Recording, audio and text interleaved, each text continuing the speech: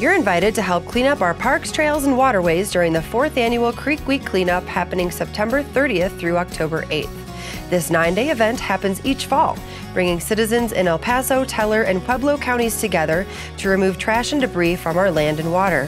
Create a creek crew with your family, friends, coworkers, or church group and make a big difference for our communities and the environment.